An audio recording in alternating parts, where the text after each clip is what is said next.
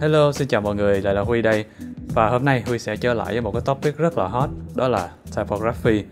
Như mọi người đã biết, typography nó là một cái mảng rất là lớn của thiết kế đồ họa. Vì vậy mà một cái video không thể nào mà nói hết được những cái khía cạnh của nó. Tuy nhiên trong cái video này thì Huy sẽ chỉ cho mọi người một cái cơ bản và rất là quan trọng trong typography Đó là cảm nhận chữ. Ừ. Thật ra nếu mà ai đã có cái năng khiếu thẩm mỹ rồi á, thì cái việc cảm nhận chữ này nó rất là dễ dàng. Nó có thể là uh, nhìn vô một cái là mọi người cảm được liền. Nhưng mà với những cái người sinh ra mà cảm giác như mình không có khiếu thẩm mỹ thì mình nhìn vô mình cũng không biết cái chữ nào nó đẹp á. Thì uh, mọi người phải học thêm nhiều để mà cảm nhận ha. Và trong cái video này huy sẽ cố chỉ cho mọi người những cái gì mà nó dễ nhất.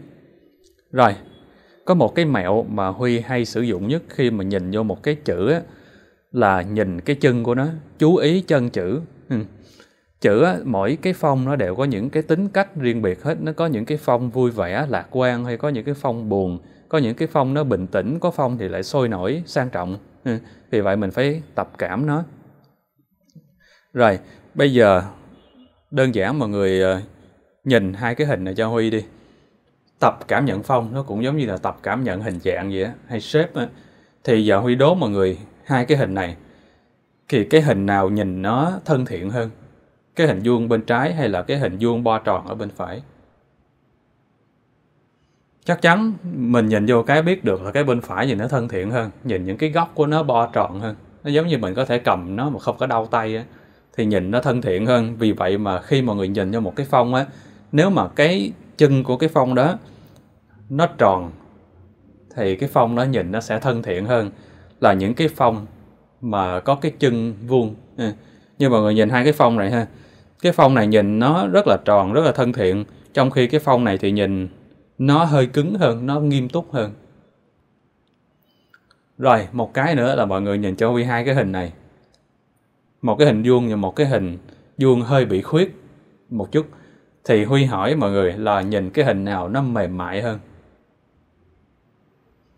Thì chắc chắn mình nhìn ngay là cái hình bên phải nhìn nó mềm mại hơn là cái hình bên trái vì vậy mà những cái phong chữ nào có cái chân mà nó nó nó cứng á, thì nhìn nó sẽ nghiêm túc và nó nghiêm trọng hơn là những cái phong mà có cái chân nó mềm giống như là cái phong Baskerville này.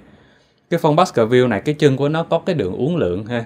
Cho nên nhìn có vẻ nó nhẹ nhàng nó tinh tế và nó nó mềm mại hơn là cái phong IBM Plex tôi đang để ở đây. Rồi giờ một cái tiếp nè. Mọi người nhìn hai cái hình này cho Huy hình bên trái nhưng hình chữ T ngược về bên phải là hình uh, chữ nhật. Thì Huy hỏi với mọi người là cái hình nào nhìn nó vững chãi hơn nó vững chắc hơn? Lại thấy ngay đó là cái hình bên trái nhìn giống như nó có một cái chân để dựa vậy nhìn nó vững chãi hơn. Vì vậy mà những cái phong nào mà nó có cái chân bè ra như vậy và chân cứng như vậy như là cái phong Rockwell này nè thì nhìn nó sẽ mềm ờ, nhìn nó sẽ cứng hơn nhìn nó sẽ nam tính hơn. Là cái phong mà chỉ có cái hình chữ nhật như là cái phong IBM Black Sans như thế này. Đó, như cái Rockwell là mọi người có thể thấy được, giống như nó đứng trên một cái bệ rất là vững chãi. Thay vì là cái phong IBM Black Sans nó không có cái bệ, nó chỉ cứng như vậy thôi. Rồi, một cái nữa là mọi người nhìn cho Huy hai cái hình này. Cái hình nào nhìn có vẻ như là nó sang trọng hơn, nó sang chảnh hơn luxury hơn. Ừ. Thì mình nhìn thấy ngay là cái hình bên phải đúng không? Bên trái nhìn nó hơi mảnh khảnh quá. Hay là nếu mà bên trái huy cho nó to ra như vậy thì nhìn nó cục mịch quá nó lại không có được cái nét uh, sang trọng sang chảnh như là cái hình bên phải. Và đó là cái lý do mà những cái phong mà cái chân mọi người thấy nó có cái nét dày nét đậm á như là cái phong ờ, Bodoni thì chẳng hạn. Cái chân của nó rất là dày nhưng mà Ờ, cái cái cái sóng của nó rất là dày, nhưng mà cái chân của nó thì lại rất là mỏng. Nên thành ra nhìn nó sang chảnh hơn là cái phong mà IBM Plex như hồi nãy mà Huy show mọi người, ha.